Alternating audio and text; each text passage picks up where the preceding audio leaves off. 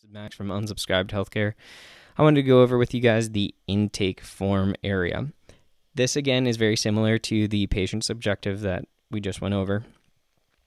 It runs the same way. You can see that there's a lot more fake patients that have been populated by me for several testing reasons and everything else.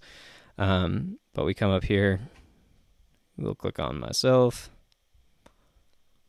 click on patient ID. Okay.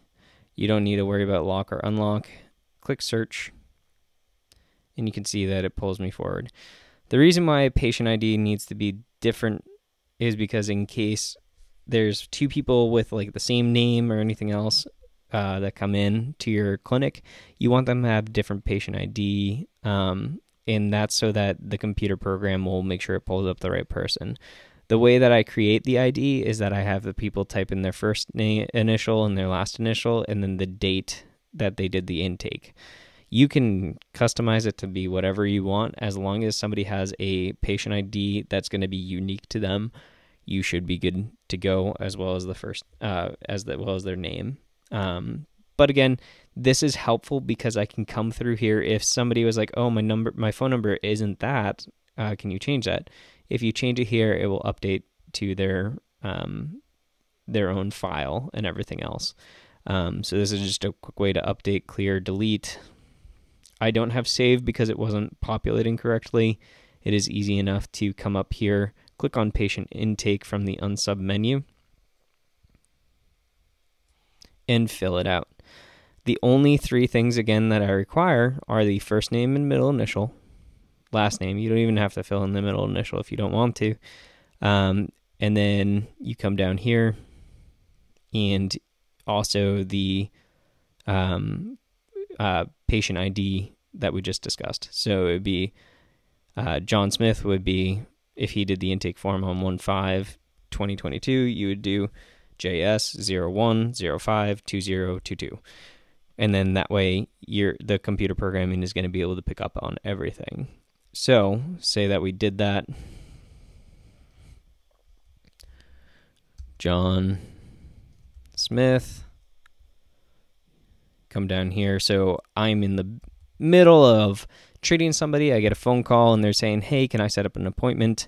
Obviously, I want to want to get the first name, last name, primary phone. Um, five five five five five five. Um, and I will call you right back, right? So you type that in, and then you also type in the date is 10 19 2022. Click submit. Okay. And then you think to yourself, okay, now I need to call that guy and I need to set up his initial eval. So you go over here, click on John Smith Patient IDs will be listed out. We just said that it was 1019 2022. I'm going to click search.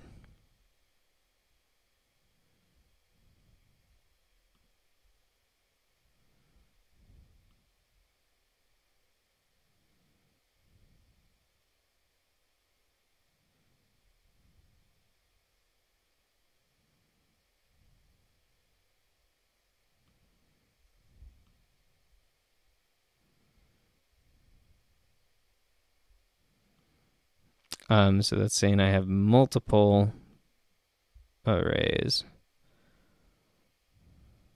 Okay. So this is from the other day when I was doing it.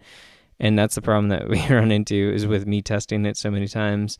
I've run out of names to try. Uh, so you come down here, John Smith, 1017. Go down a little bit further, John Smith, 1019. Yeah, so that's why it was having an issue is because you can see um, John Smith was entered with the same exact uh, uh, first name, middle name, ID number. So if we wanted to, we'll get rid of the one. We'll get rid of the one without the phone number. All right, we can just right click, delete row.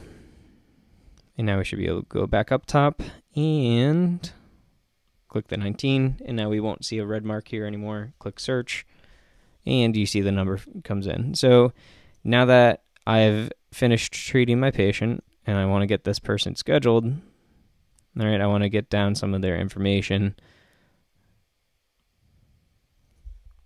So we can say js at gmail.com, mail, date of birth. He was born yesterday, 10 18 2022. Um, again, you would just be able to put in all this information.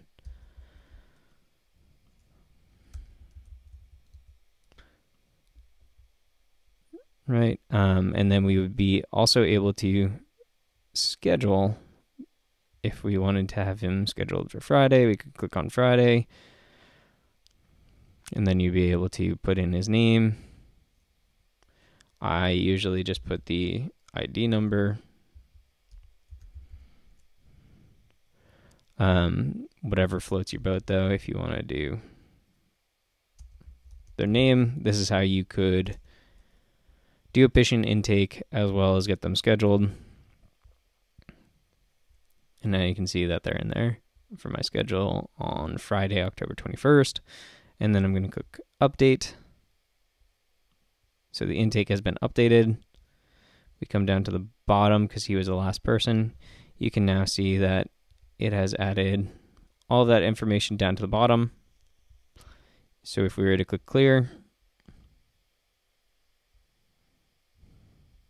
go to John Smith, 19. There you go. And pulls it forward. So again, the system is a little bit limited. As you saw, it did make an error, but it's not perfect, but it does work really well, um, especially for small clinics um, and people who don't have, or areas that don't have a lot of the people with the same names who would might come in for an intake on the same day. Anyway, this is all about the patient intake. I hope that makes sense. If you have any questions, feel free to comment below.